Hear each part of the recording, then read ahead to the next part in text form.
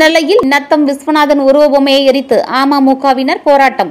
பெண்கள் உள்பட பதினேழு பேர் கைது. அதிமுகவைச் சேர்ந்த முன்னாள் அமைச்சர் நத்தம் விஸ்வநாதன் சசிகலா குறித்து சர்ச்சைக்குரிய வகையில் பேசியிருந்தார். இதற்கு அதிமுக நிர்வாகிகள் பலரும் கண்டனம் தெரிவித்தனர்.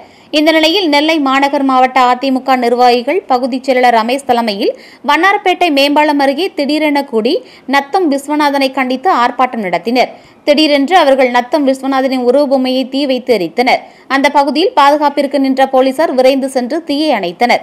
இதனைத் தொடர்ந்து அனுமதியின்றி போராட்டத்தில் ஈடுபட்டதாக துணைச் செயலாளர் நயினார் அம்மா பேரவை இணைச் செயலாளர் மகேந்திரன் பாளை ஒன்றிய இலக்கிய அணிச் செயலாளர் தருவை வீரபத்ரன் சூசைராஜ் தகவல் தொழில்நுட்ப மகளிர் அணிச் செயலாளர் சிவகாமி பாளை பகுதி பொருளாளர் ஹமீம் செந்தில்வேல் பாளை பகுதி அவைத்தலைவர் தங்கராஜ் மாணவர் அணிச் செயலாளர் பொட்டல் ராஜா மேலப்பாளையம் பகுதிச் செயலாளர் ஜீனத் ராணி மஞ்சுளா சண்முகலட்சுமி கபடி ராஜா உட்பட பதினேழு பேரை போலீசார் கைது செய்தனர்.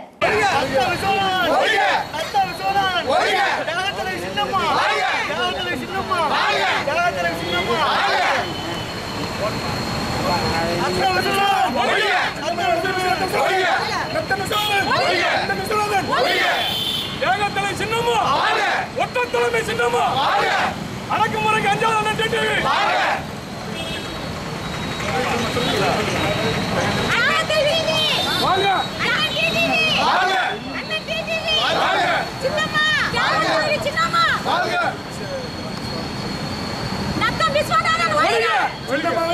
قدام سرعة وليا جبنا يهودي بس قدام سرعة وليا قدام سرعة وليا قدام سرعة وليا قدام سرعة وليا قدام سرعة وليا